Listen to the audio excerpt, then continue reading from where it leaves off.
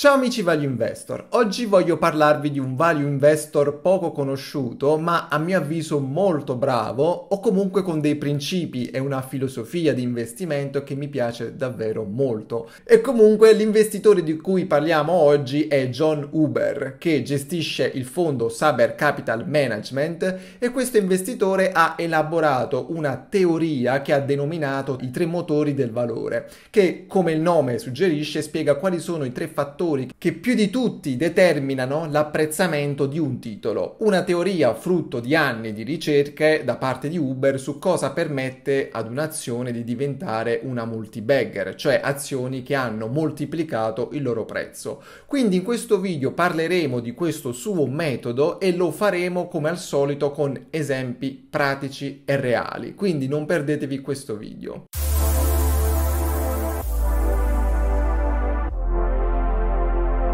Questi esempi che vedremo tra poco vengono dalle slide di questa presentazione di Saber Capital che Uber gentilmente ha reso pubbliche e che ha mostrato agli studenti della North Carolina State University in data 29 marzo 2023. Vi lascio il link in descrizione alle slide. Secondo le ricerche di John Uber, ogni azione cresce in modo esponenziale grazie al prodotto di tre fattori, che sono appunto i tre motori dell'apprezzamento dell'azione e sono crescita degli utili, cambiamento del valore del PE ratio e cambiamento del numero di azioni dell'azienda. Prima di analizzare i tre motori singolarmente, vi do alcuni esempi reali di come questi tre motori hanno determinato effettivamente il successo di alcune azioni che sono diventate delle multibagger. Il primo esempio riguarda un'azione che dal 2000 ad oggi ha avuto un rendimento medio anno del 22%, cioè il prezzo dell'azione si è moltiplicato dal 2000 ad oggi per 76 volte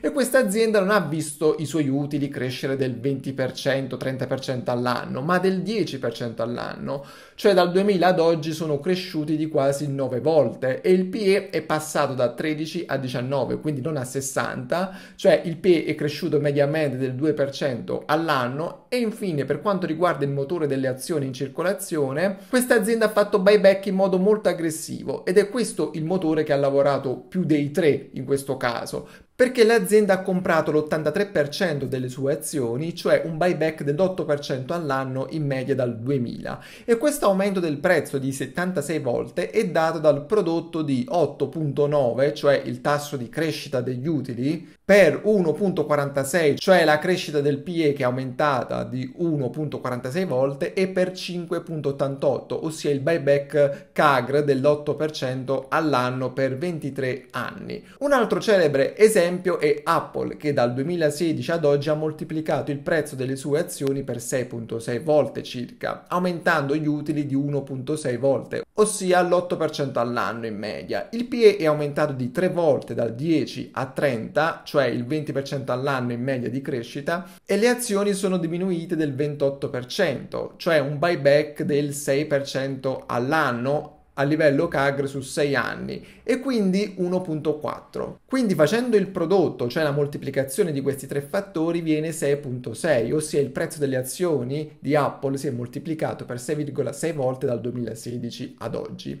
Infine, altro esempio è Bank of America, che comunque, anche se il contributo di ciascun motore è stato modesto in questo caso, alla fine il rendimento su 10 anni è stato molto buono, cioè il prezzo delle azioni è aumentato di 4 volte e mezzo perché i tre motori hanno lavorato tutti insieme per 10 anni, per tanto tempo quindi. In questo caso gli utili normalizzati sono cresciuti in 10 anni di 1.7 volte, quindi solo il 5% all'anno in media. Il PE è solo raddoppiato passando da 5 al 10 e il numero di azioni si è ridotto del 24% con un fattore di 1.3 quindi. E quindi moltiplicando questi valori otteniamo una crescita del 16% all'anno in media, decisamente non male anche con un contributo dei tre motori non eccezionale. Quindi riassumendo, una volta creata la sua lista di potenziali compounder, Uber stima quali potrebbero essere gli utili tra 10 anni, cercando di essere molto conservativo perché Uber spiega bene che sono poche le aziende che riescono a crescere a buoni ritmi per tanti anni.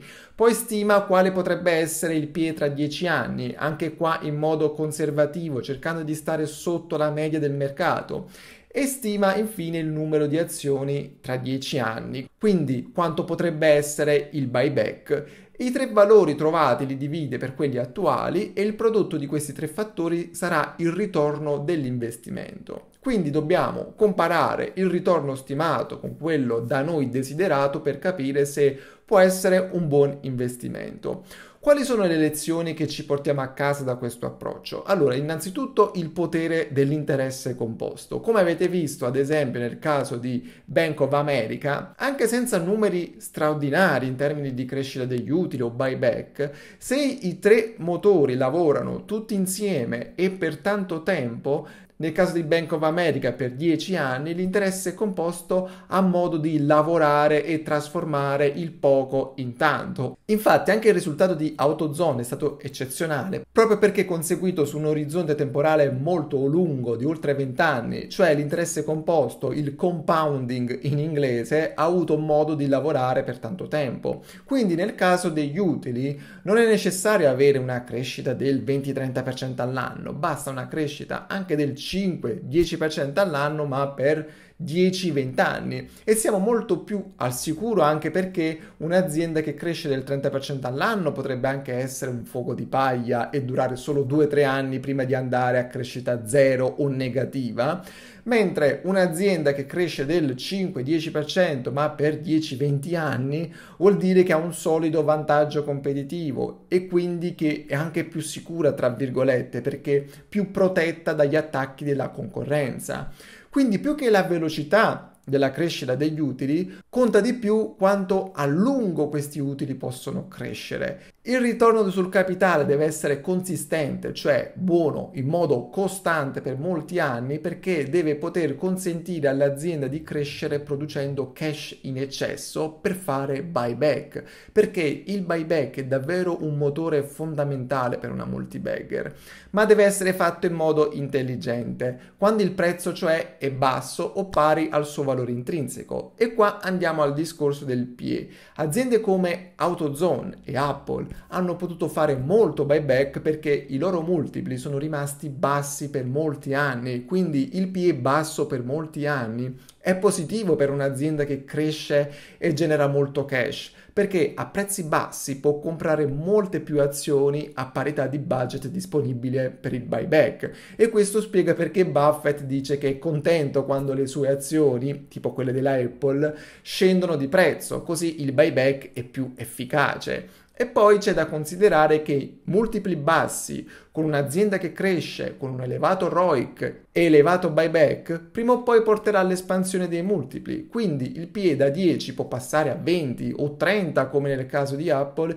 in modo da moltiplicare il prezzo delle azioni. È così che otteniamo una multibagger, una 10x o anche una 100x. Senza contare che avere un'ottima azienda a prezzi bassi per molto tempo, addirittura con prezzi che scendono, è una situazione che ci permette che ci dà la possibilità di risparmiare i soldi necessari dal lavoro, dagli altri investimenti per comprare altre azioni dell'azienda e a prezzi più bassi, comprare sempre più azioni ad ottimi prezzi. Perché la cosa peggiore che può capitare a un investitore è aver trovato una rara azienda da 10x e averci potuto investire solo 1000 euro perché dopo che l'abbiamo comprata il prezzo è subito schizzato in alto. Mentre Uber e anche Buffett dicono che loro sono accumulatori di azioni di ottime aziende ad ottimi prezzi. Meglio 10.000 euro di una grande azienda a un PMC di 100 che solo 1.000 euro della stessa azienda a un PMC di 80. Allora ragazzi, fatemi sapere se conoscete un'azienda che secondo voi può essere una multibagger, perché pensate che possa crescere a livello di utili per tanti anni, con un ritorno sul capitale consistentemente buono, che produce tanto cash in eccesso per il buyback e con multipli relativamente bassi. Scrivetelo nei commenti, un like al video se vi è piaciuto e ci vediamo alla prossima. Ciao da Davide!